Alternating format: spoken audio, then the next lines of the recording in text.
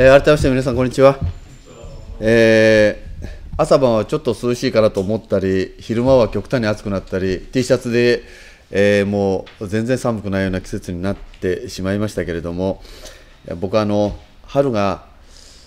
自分だけではないと思いますけど春が大好きで、え、いよいよ自分の季節になったかなみたいな思いで、えー、楽しんでましたら暑くなってもう昨日も一昨日も大変汗をかきました、えー、日頃取材をしていただきまして誠にありがとうございます。まあ、今回あの、4月の定例会、まあ、3点取り上げさせていただきましたが、その前に、少しですね、合併10周年を意識して、4月1日からスタートいたしましたので、えー、記者の皆さんも思い出していただきますと、1日にはこの庁舎の前で、えー、一中の生徒さんたちが混声合唱をやっていただきまして、えー、新しく誕生しました詩の歌、まあ、詩歌ですけれども、えー、癒し系の詩歌になったようで、えー、市民の皆さんからですね CD をくれというような問い合わせがまあ非常に多くあって、えー、市長とすれば非常に、えー、品種を買うよりもそういう形で、えー、評判が高くなっていることを非常に嬉しく思いました。またあの当日からですねえ、こども園が、まあ、3園をスタートさせまして、えー、幼稚園も公立幼稚園ですけれども全園、えー、延長保育をスタートするまあそんなことでスタートを切りましたけれども、えー、疾平君のですねオリジナルナンバーも、えー、当日これ4月の2日だったでしょうか、まあ、44人の皆さんが待っていただいて、えー、交付をさせていただきました。あの随分私も2回えー、見まして4月のうちに、えー、あちこちでもっともっと見れるようになればいいなと思いますけど、えー、これも褒めていただくケースが多くなってまいりました、えー、また、えー、一昨日ですね、えー、岩田のお祭りもですね合併10年を本当に皆さんが協力していただいて盛り上げていただきましてどこの会場も非常に人手が多くてですねそして共にやらされ感ということではなくてお祝いをしていただいた参加者がすごくこう楽しみにしながら自分自身も楽しんでいただいたみたいな、え、雰囲気を感じました。それから私もまあ大名としてまた今年も出たわけですけども沿道の皆さんも含めて、え、この4月いいスタートが切れたなというふうに思っております。えー、いずれにいたしましても、えー来月、来年度ですね、3月まで、まあ、こんなようなことをいろいろ皆さんと楽しみながら、次の10年に向かって期待ができるような雰囲気で、今年度を頑張っていきたいと思いますので、よろしくお願いしたいと思います。それでは、えー、1点目のですね、台湾バイヤーとの食の商談会の件に入りさせていただきますが、まあ、これはあの皆さんもご存知の通り、静岡県が台湾にですね、えー、事務所を昨年設けました。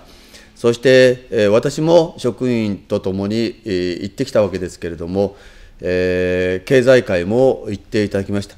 えー、そこで、えー、二手に分かれまして、私が伺ったときに、二手に分かれて、職員はですね、この今回来てくださるバイヤーの皆さんと、えー、意気投合して協力してくださるみたいなパイプができましてですね、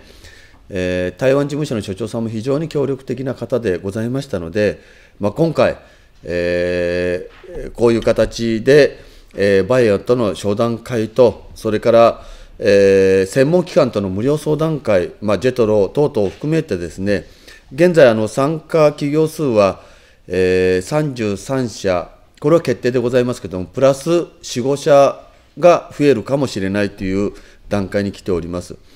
バイヤーの皆さんはま8社程度来てくださるということを伺っております。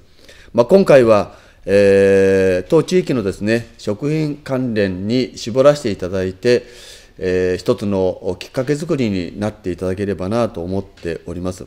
まあ、1回やったからすぐ商談が成立するだとか、えー、ということはなかろうかと思いますけれども、とにかく、えこの地域の皆さんがですね、海外との取引がま再開できる礎ができたとか、少しでも知識が広まったとか、え、交流するきっかけになったとかっていうことであれば、もう大成功だと思っております。まあ、今回、こういう事業が、え、できるようになりましたのも、あの関係者の皆さんのおかげだと思っておりますし、一つでもですね、前に向いて、えー、進出している製造業がたくさんある中でですね、えー、輸出等々、ここの地場で頑張っている皆さんも応援するというような意識の商談会になればなと思っております。合わせてですね、えー、通訳も、えー、人数分だけ拝聴する予定でございますので、えー、その結果の含めて検証もしていきたいと思っております。それから2点目でございますが、えー、これはあの昨年度まで、えー、職員がいろいろ考えてくれまして、えー、支所に、4支所にいた保健師を集約をいたしまして、えー、そして、えー、地区活動班という名のもとにですね、地域に出ていく、専属で、えー、地域を重点的に出ていくという、そして交流センター、まあ、21センターで今年度スタートしたわけですけれども、そこを拠点として、これあの、よく考えてくれた名前だなと思って、えー、視聴室であの聞いたんですけど、町の保健室っていうことで名付けてくれたようです。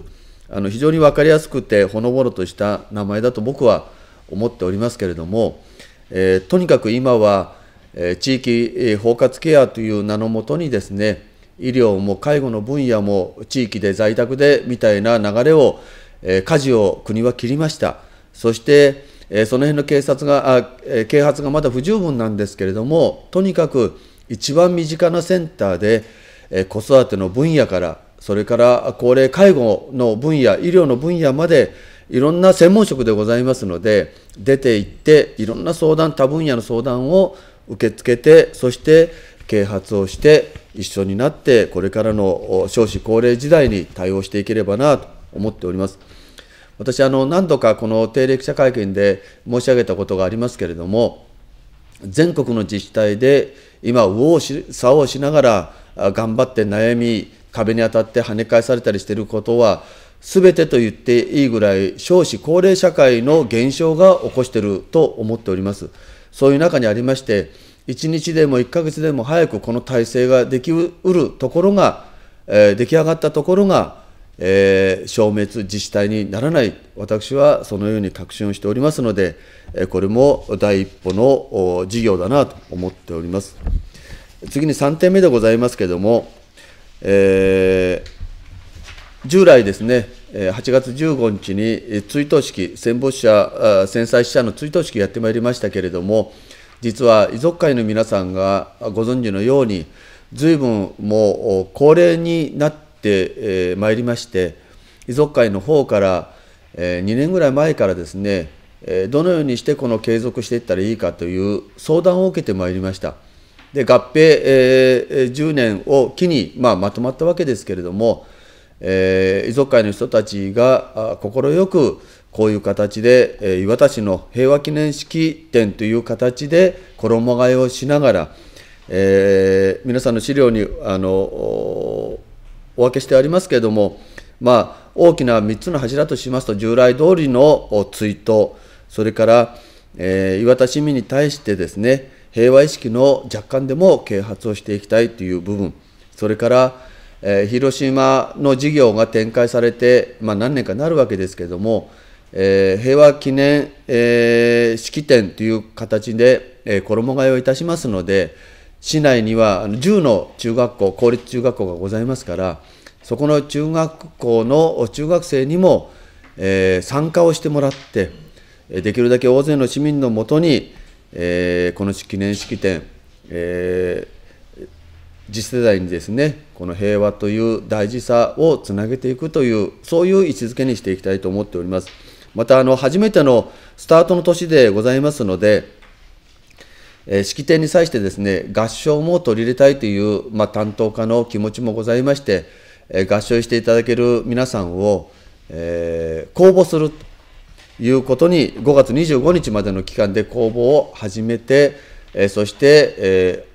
ー、その式典に花を添えていただければな、まあ、こんな思いで、え追悼式を衣替えをして、平和記念式になるというお知らせでございます。